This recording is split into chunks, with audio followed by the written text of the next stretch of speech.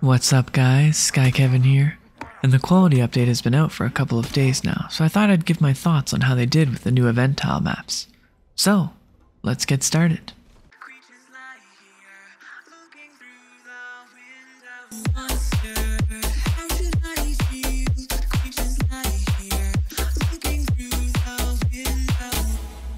So, the newly anticipated quality maps are out. Interestingly, since the update has transpired, we've seen a constant uptick of average players every day since then.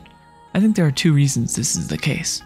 First, we have the return of players looking to get higher quality gear. Essentially, after the last announcement, all that quality was going to be wiped, so there was certainly an exodus of players who didn't feel like it was worth it to play the game and grind out any quality knowing full well that their gear would eventually be reset to common once again. The second are players coming back to PvP driven maps with the opportunity to now find content. Indeed, I've personally gotten into a few fights myself when heading into the quality tiles, as it concentrates a lot of the population headed there for the duration that they're open. I'd say it's very similar to the previous event tiles that we've had in past seasons, but in this case, it meets a nice balance where most people head there looking to farm some quality materials and end up getting into a fight with nearby walkers as a result organically. I think it's a good job of creating that feeling when you're not planning to head there for a large fight or just to go get zerged, and rather, you're there to get in and get out with the materials that you harvest.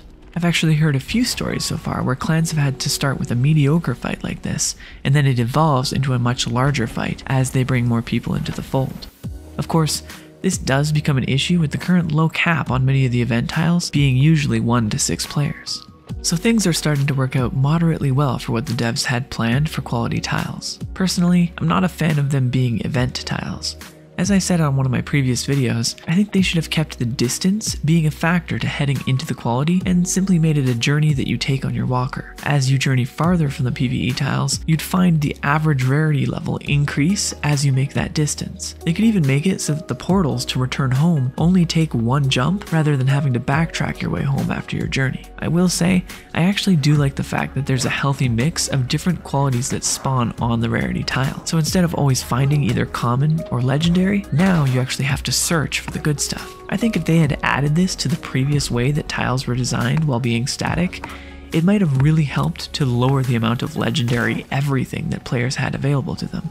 Base raiding is now a thing as well. As a result, I haven't seen or heard of anyone being on the PvP tiles. As I predicted, the risk of losing your stuff has pushed everyone off of these tiles, as the benefits to being completely safe on a PvE tile now far outweigh being on the PvP ones, where you can get offline raided. I really like how they managed weapon damage towards base raiding, and making it a much simpler system where you can take out walls using a specialty of ammunition, but you can still mass farm the cheap ammo in order to break through. Instead, it will take resources for every wall that you break, so you don't have to farm a hyper-specific fire arrow or scatter shot.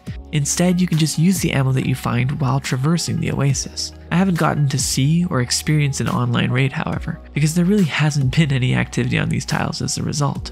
I will say, one great addition to the game here would be to allow automaton on bases to behave like the Rupu turret AI that they have currently on camps. I think if someone gets close to my base, having a lot of automaton on the top to tear a walker down would be a fair compromise to at the very least prevent any offline base raiding. Still, despite my suggestions here for what I think they should have done for quality. I think the fact that they added base raiding in again, as well as these rarity maps, we can say the game is certainly a lot more fun now. That is, people are actually going out looking for materials on a map where they have to risk their walker and everything on it to hopefully get their quality materials. Another change that I think a lot of people didn't really notice was the addition of lockboxes back into the game as well. I am very, very hyped about this because that means now you can get ceramic tier gear in the game. All you have to do is bring 3000 flots to some wandering merchants, and those boxes now have a chance at dropping it. To me, this is a fantastic way to utilize flots and to make them have a significant value put back into the game, while still making it a lucky chance